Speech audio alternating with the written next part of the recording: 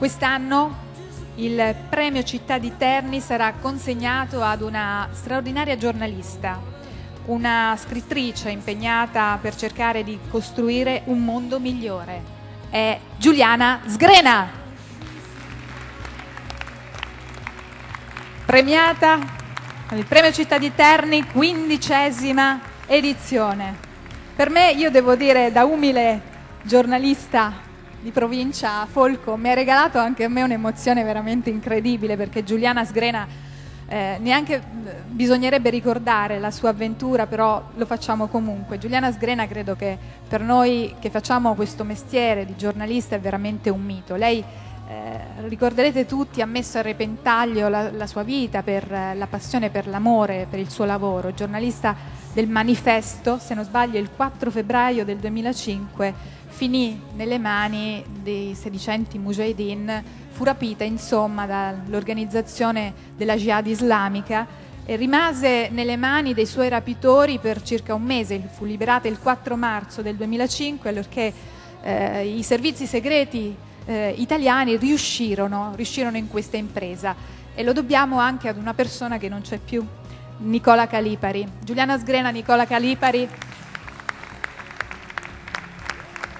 percorrevano, ormai convinti della salvezza, la strada che li portava nella città di Baghdad verso l'aeroporto di Baghdad dove li aspettava un aereo per ritornare in Italia. Lungo quella strada però, guarda caso, il fuoco cosiddetto amico colpì quella macchina dove c'era Giuliana Sgrena, Nicola Calipari e un'altra persona.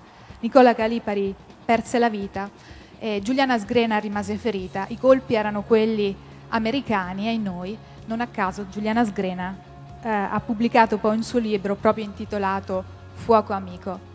Parlando un attimo dietro le quinte con Giuliana diceva che è ancora forte veramente l'emozione ripercorrendo quell'avventura, ripercorrendo quei momenti, ma che ha saputo in qualche maniera vincerla tornando addirittura a Baghdad per due volte. Giuliana. Sì, eh, quest'anno sono tornata a Baghdad dopo più di quattro anni dalla mia avventura, da quella triste vicenda.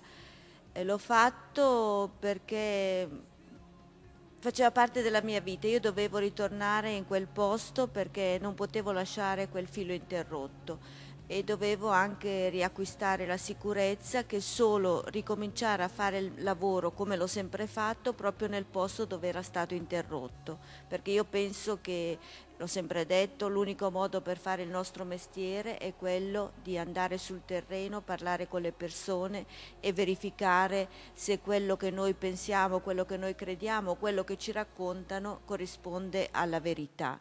E questo è un impegno che ho sempre mantenuto e voglio mantenere e voglio mantenerlo anche tornando in Iraq. Eh, ci vuole una grande forza, una grande forza interiore per fare quello che ha fatto Giuliana Sgrena, ma ripercorrendo ancora quei momenti, quel mese di prigionia e poi la tragedia all'interno di quella macchina, ci sono ancora dei, dei mostri, degli incubi? Beh, naturalmente è un'esperienza un che ha cambiato la mia vita, eh, soprattutto mentre a livello professionale ho sempre ho continuato fin da subito a fare il mio lavoro, a livello personale è veramente cambiato e questa sera sentendo anche le parole di Terzani ripensavo a come è diverso il suo rapporto con la morte e quello che è stato il mio rapporto con la morte. Il suo era un rapporto quasi preparato, no? molto, molto tranquillo, mentre io quando pensavo alla morte, quando ero chiusa in quella stanza e pensavo che da un momento all'altro potesse essere il momento in cui venivano ad uccidermi, beh, eh, per me è stato molto traumatico, un trauma che probabilmente non supererò mai, è stato proprio questo mio rapporto con la morte che mi ha cambiato la vita.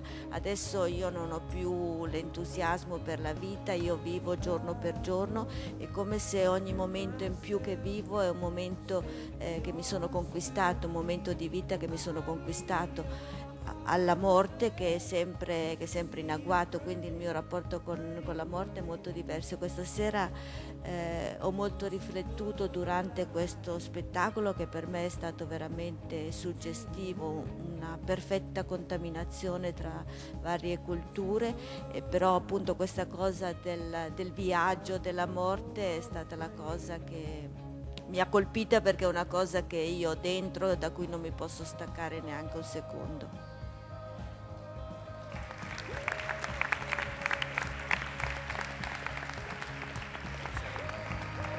Bene, e insomma, prima di consegnare questo premio, due parole anche ai due assessori. Io credo che sia stata una serata veramente particolare.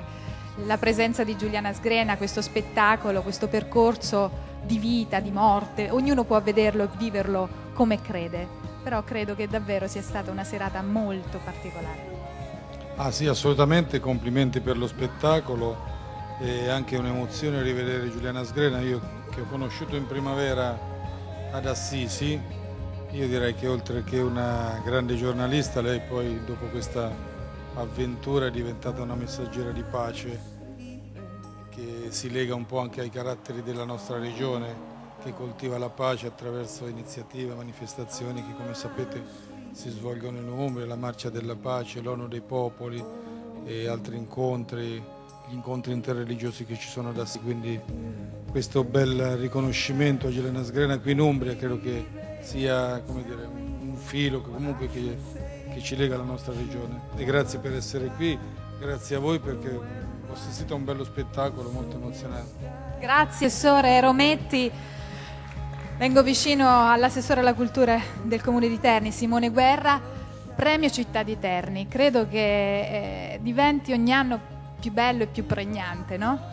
sicuramente questa se non ricordo male è la quindicesima edizione. Eh, offrendo tra l'altro uno spettacolo che ha messo insieme diverse arti e dei temi e contenuti molto importanti. Anch'io ho avuto la fortuna di conoscere eh, Giuliana in primavera, che al di là della vicenda drammatica, lei è da sempre una delle voci fo fondamentali del pacifismo in Italia. È stato quindi un onore incontrarla loro e ancora di più oggi premiarla. Pochi giorni fa abbiamo dedicato l'accensione della stella eh, di Miranda alla tavola della pace. Questo è indicare che questa città è in prima linea su questi temi per quello che può fare un, un ente eh, locale. Noi continueremo su questa strada, ringrazio quindi anche il Premio Città di Terni per aver voluto premiare eh, una testimonianza così importante di vita e professionale, una donna coraggiosa che in questi anni ha sempre mantenuto alta l'attenzione e la voce, una voce critica su questi temi. Quindi ringrazio a voi anche per la splendida serata di oggi. Ringraziamo ovviamente il regista Folco Napolini, ringraziamo la Domino ADV che si è occupata del coordinamento generale e ora il solenne momento della consegna del Premio Città di Terni a Giuliana Sgrena.